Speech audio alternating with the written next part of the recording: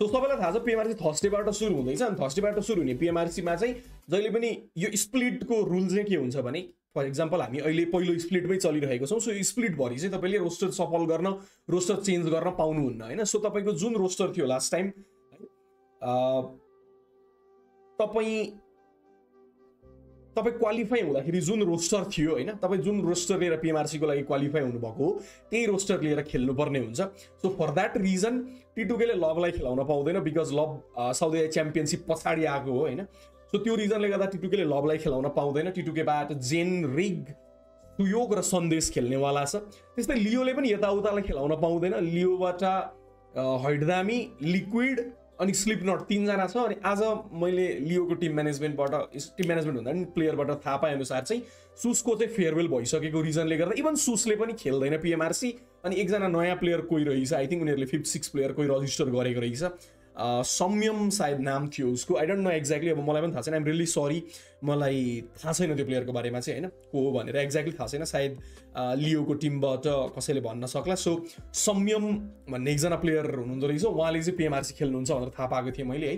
So लियो र टिटुकेको roster update यो यो रहनेवाला छ। फेरि पनि एकपटक रिपिट गर्नुपर्दा टिटुकेले लभलाई खेलाउन पाउँदैन। सँगसँगै लियोले यताउतालाई खेलाउन पाउँदैन अनि इभन सुसले पनि फेयरवेल पाइसकेको हुनाले गर्दा सुसको ठाउँमा चाहिँ संयम खेल्ने भनेर मैले इन्फो पाएको थिएँ। And then talking about DRS they अब fix set of roster four players so यो हाम्रो तिनवटा नेपाली टिमहरूको रोस्टर चाहिँ यो रहनेवाला छ है त। अनि लाइभ कहाँ हेर्ने भन्दाखेरि पब्जी मोबाइल स्पोर्ट्स चल्दैछ तपाईँले लाइभ हेर्नुहुनेछ। डिआरएस हाम्रो आफ्नो टिम आई थिङ्क डिआरएसको लागि कुरा गर्ने भने पिएमपिएल त्यति खासै राम्रो गएको थिएन।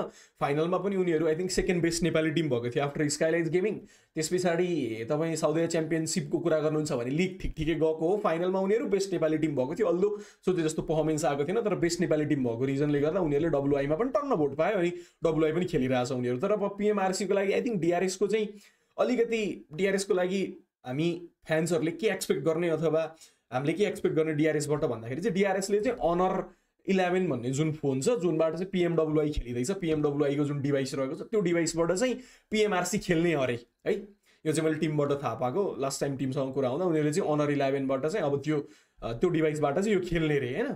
सो पिएमआरसी एन्ड्रोइडबाट खेल्ने भएकोले गर्दा आई डोन्ट नो के एक्सपेक्ट गर्ने भनेर सायद अलिकति गाह्रो नै पर्ला डिआर भने। आई थिङ्क टिटुकेबाट मेजर रोस्टर सफल भइसके पछाडि पिएमएनएसमा अलिकति प्रब्लम उनीहरूलाई बनेको थियो। एकजना प्लेयर चेन्ज हुँदाखेरि होइन अब टुर्लब आए पछाडि I think gun power wise बढेको छ अनि उनीहरूले त्यो लास्ट दिनको दुईवटा म्याचमा देखायो होइन। सो त्यो दुईवटा म्याचमा देखाइसकेको कारणले गर्दाखेरि सिनर्जी सेट भयो भने राम्रो गर्न सक्छ। तर फर नाउ लभ खेल्न नमिल्ने भए पछाडि again you will see Suyog खेल्नेवाला चाहिँ यहीँ देखाइरहेको छ। सो सुयोग जेन सन्देश रिग यो चारजना प्लेयर छ खेल्नेवाला।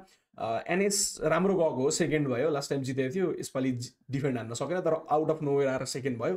सो आई थिङ्क उनीहरू पनि एउटा राम्रै कन्टेन्सनमा रहनेवाला छ। म्यापटेक्स थाहा छँदैछ हामीलाई एकदमै स्ट्रङ भएर आएको छ of late specially point structure change भइसके पछाडि।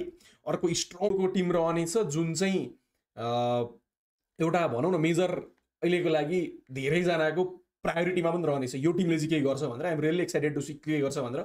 मेबी अघि मैले अगाडि सो के अरे संयम भने के अरे स्वयं चाहिँ रहेछ। यहाँ पनि नाम तपाईँले देख्न सक्नुहुन्छ होइन? स्वयं भन्ने एकजना प्लेयर रजिस्टर्ड छन् उनी खेल्ने रहेछन् पिएमआरसी चाहिँ भन्ने मैले थाहा पाएको थिएँ। Aegon excited